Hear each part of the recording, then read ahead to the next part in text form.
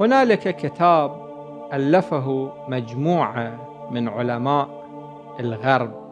وهذا الكتاب هو الإمام الصادق كما عرفه علماء الغرب. ينقل هؤلاء العلماء عن الإمام الصادق. أولا تخطئة نظرية بطليموس في كيفية حركة الشمس.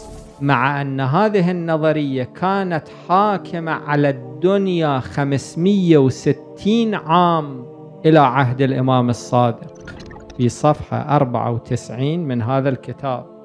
ثانيا تخطئة نظرية العناصر الأربعة التي كانت حاكمة على الكرة الأرضية ألف عام.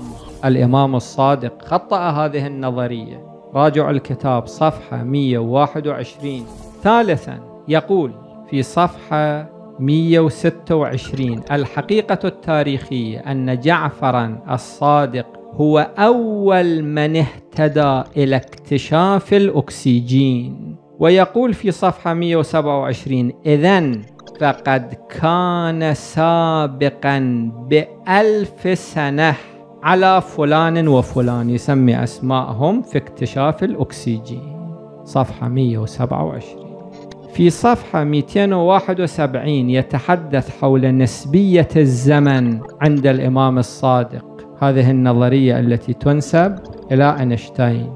384 في هذه الصفحة يقول للإمام الصادق نظرية باهرة تتعلق بحركة الأجسام مؤداها أن لكل شيء حركة وإذا كان هذا الرأي غير معقول في أيام الإمام الصادق فهو قد أصبح اليوم حقيقة علمية مقررة ومن هذه النماذج في هذا الكتاب كثير. هذا جانب من البعد العلمي في حياة الإمام الصادق.